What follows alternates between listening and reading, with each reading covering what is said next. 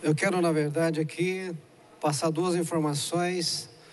A primeira, que muitos já falaram aqui também, é a eleição do Conselho Tutelar, que vai se realizar, né, realizar agora domingo, é, dia 4, lá no Lamartine, do Camanhas Lamartine, no caso. É a partir das 8, né? Das 8 né? até as 5 da tarde. Então, não esqueçam de levar um documento com foto e também o título de eleitor, que é importante para você estar votando.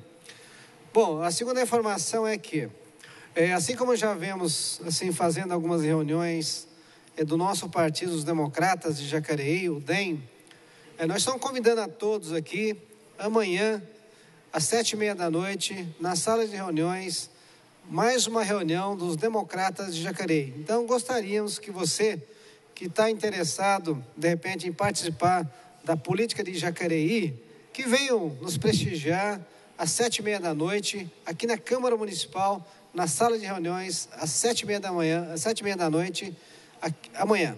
Então, estão todos convidados. Obrigado e boa tarde a todos.